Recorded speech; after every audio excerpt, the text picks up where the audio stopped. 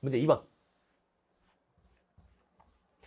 밑주친 이 나라에 대한 설명으로 옳은 것을 골라보겠습니다. 화폐 도안 만들기인데 2만원권이 나오네요. 자, 우리 모두는 이 나라의 광개토대왕. 그럼 이 나라 무슨 나라야? 고구려. 끝. 광개토대왕. 설마 광개토대왕이 조선 사람이라고 알고 있는 건 아니죠? 광개토대왕이 설마 중국인이라고 알고 있는 거 아니죠? 광개토대왕이 설마 고려 사람이겠어? 고구려입니다. 고구려.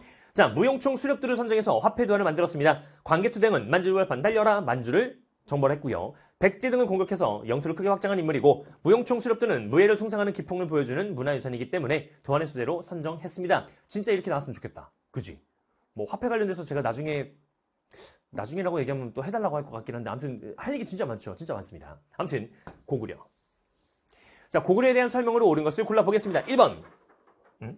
자 동북 구성을 축조했대요. 이거 고려입니다. 고려가 여진족을 토벌하기 위해서 윤관이라는 사람이 윤관 무슨 부대를 만들었다? 그렇지 별무반 별무반을 만들어서 동북 구성을 축조했다. 그죠? 이렇게 보시면 돼요.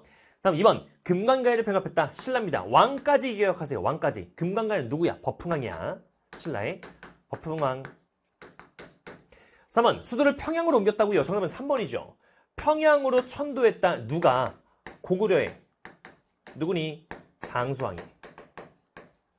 국내성에서 평양으로 천도했다. 정답 3번입니다. 다음 4번 의정부 서사지를 실시했다. 이거는 조선입니다.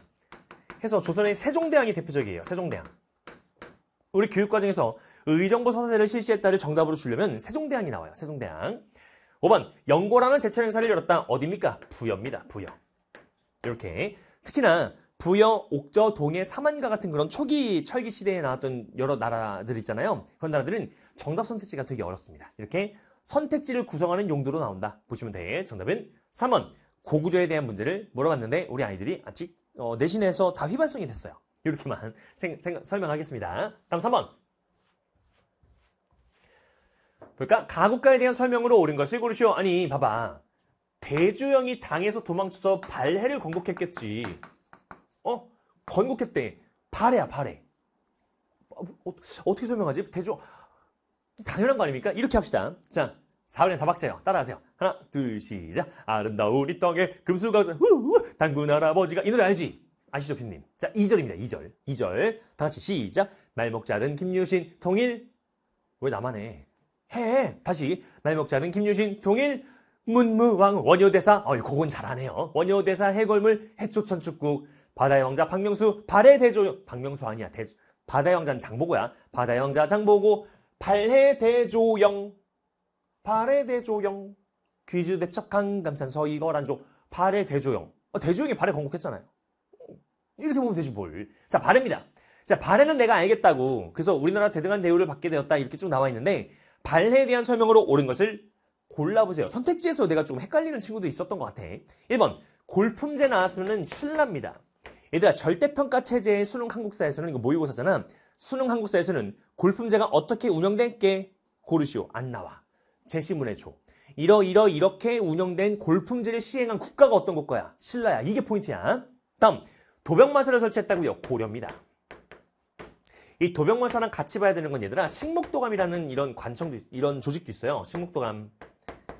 도병마사랑 식목도감은 내신할 때 들어봤겠지만 이거는 고려의 독자적인 정치 운영 기구구나. 근데 의미를 물어보는 게 아니야. 단어가 나왔어. 어떤 나라인데? 고려입니다. 그렇게만. 다음 홍범습도를 반포했다. 조선입니다. 2차 가보개혁 때 개항기 조선 때 만들어졌고요.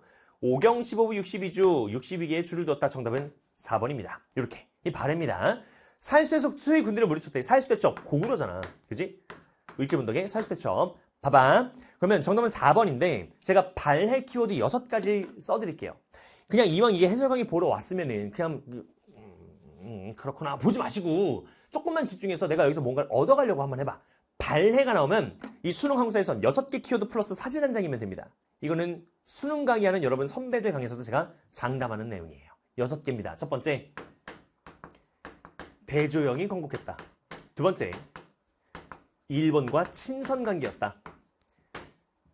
세 번째, 당나라에 발달한 중앙 정치 제도인 삼성 육부제를 수용했다. 중앙 정치 제도야. 세 개의 성과 여섯 개 부가 있는 거야. 다음 네 번째, 오경 15부 62주로 전국을 이렇게 관리했다. 다섯 번째. 그래서 바다 동쪽의 강성한 국가라고 불렸다. 해동성국. 여섯 번째. 중앙교육기관, 중앙의 서, 그러니까 중앙, 서울의 국가가 설치한 최고 교육기관, 국립서울대학교, 뭐라 불러? 주자감이라 불러요. 이 여섯 개입니다.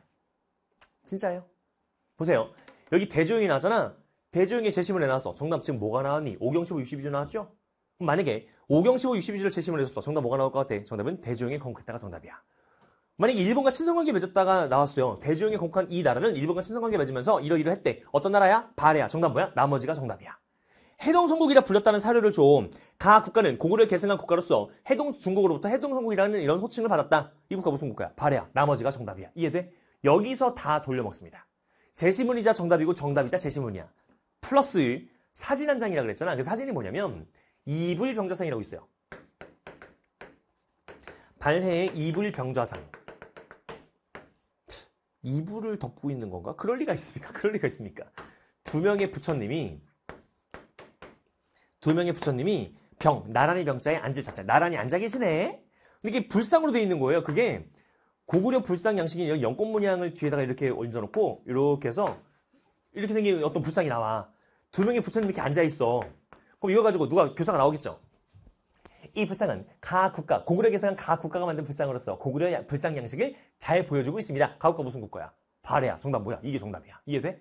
이렇게 보면 돼. 이게 끝입니다. 됐죠? 다시 정리하지만 발해는 키워드 6개 플러스 사진 한 장이야. 이렇게 꼭 정리하셔라. 됐죠? 넘어갑시다. 다음 문제 4번.